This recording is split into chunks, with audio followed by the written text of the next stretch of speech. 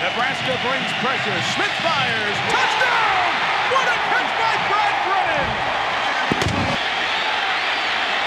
Crouch. Looking long.